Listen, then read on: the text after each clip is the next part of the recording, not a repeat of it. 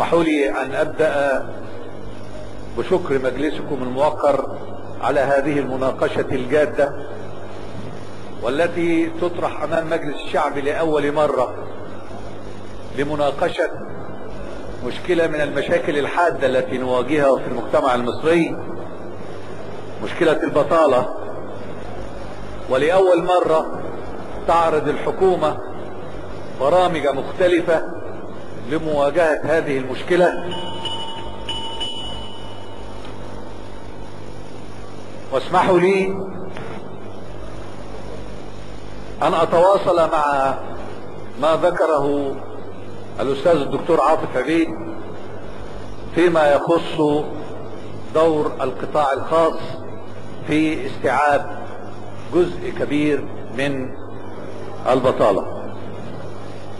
الحقيقة لو نظرنا إلى سوق العمل وتركنا سوق العمل الحكومي والذي في يوم ما سنعتمد عليه كسوق عمل اللي هو سوق العمل الخاص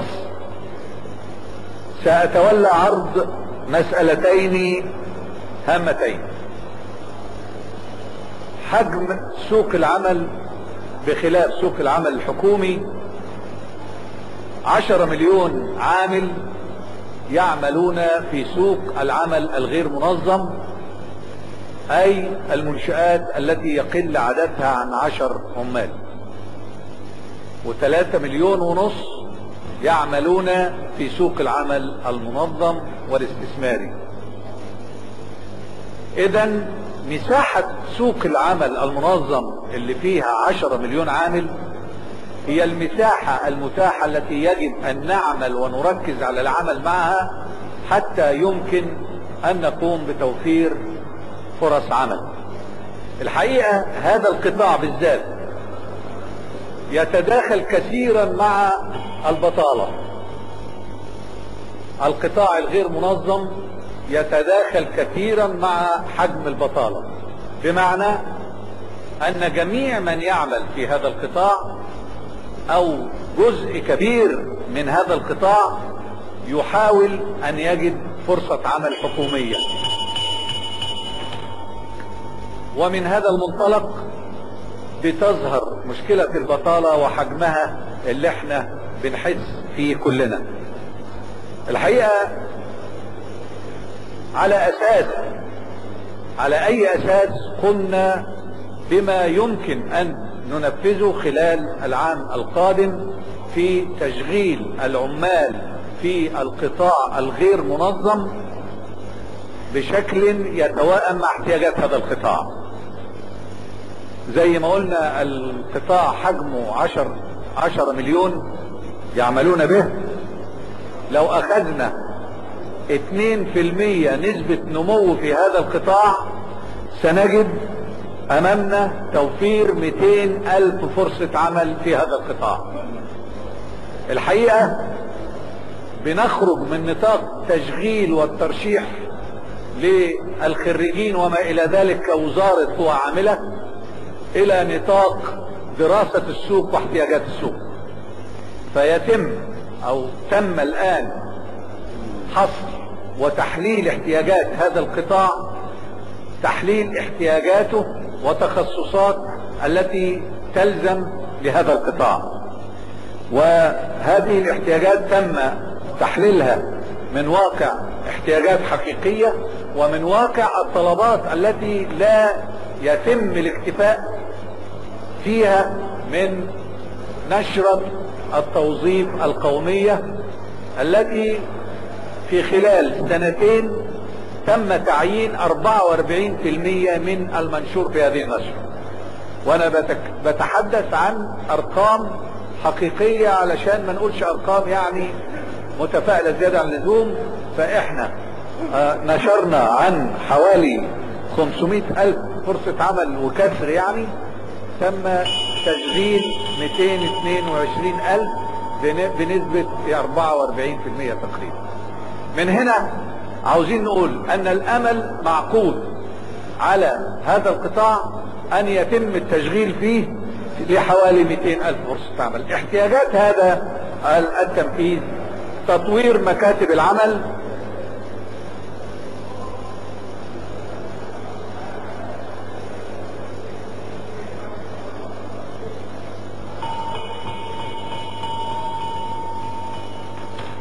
تطوير مكاتب العمل معنى التطوير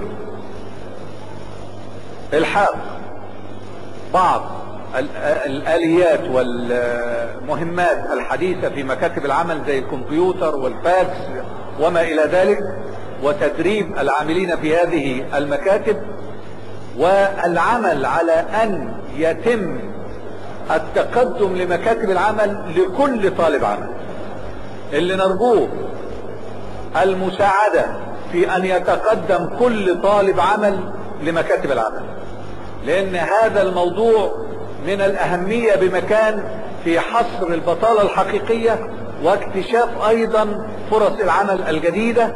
فعندما يتقدم طالب العمل مش ضروري يدور بطلبه بين الوسطاء واللي يتوسط والأعضاء وما إلى ذلك. نرجو أن, يتوق... أن يتقدم كل طالب عمل بعمله وبطلبه إلى مكتب العمل حتى يمكن أن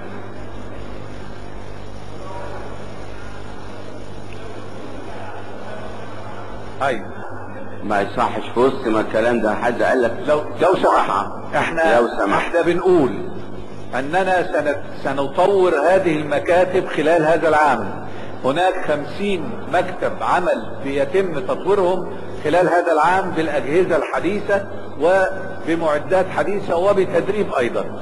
آه الملاحظة اللي قيلت أن مكتب العمل سيقوم بالترشيح إلى الطلبات ولن يترك العامل أو طالب العمل يذهب بنفسه ولكنه حيرسل هذه الطلبات بالترشيح ولكن لصاحب العمل أن يختار من بين طلبات العمل التخصصات المطلوبة وليس بالقطع أن يتم اختيار كل ما يتم ترشيحه لصاحب العمل لأن هناك حريات صاحب العمل. الحاجة الثانية تطوير أيضا مراكز تكوين مراكز التكوين التابعة لبعض الوزارات الأخرى في مناطق الحرفية. أيضا بنتحدث عن التشغيل الخارجي وازالة المعوقات أمام شركات تسفير العمال للخارج ودراسة التعاون بين هذه الشركات والوزارة والسفارات المسؤولة أو السفارات اللي يعني بتمثل الدول صاحبة سوق العمل الخارجي. وسيتم إن شاء الله توفير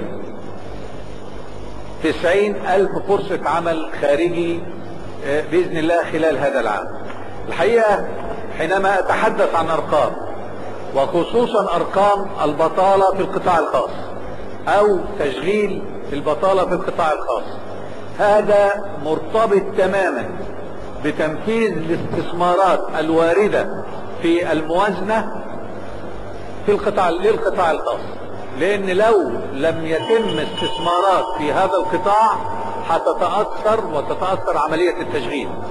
ولكن كل جهد وزارة العمل ومكاتب العمل هو البحث عند أصحاب الأعمال اللي بيقوموا بتنفيذ استثمارات وداخلة في خطة الدولة. أيضا موضوع القطاع الخاص المنظم حضراتكم تعلموا إن هذا القطاع متجه نحو تطوير الإنتاج ونحو الآلية أو التكنولوجيا الحديثة. ولذلك يؤثر ذلك على حجم العمالة أيضا. وعاوزين نوجه النظر إلى أن الذي يعوض هذا هو زيادة نسبة التشغيل في الخدمات. والخدمات بمعنى أن يكون هناك جزء كبير في القطاع الخاص الغير المنظم. إحنا عاوزين نقول ان هناك كلام صريح وشفاف وحقيقي هو عزوف بعض الناس عن ان يعملوا في القطاع الغير منظم.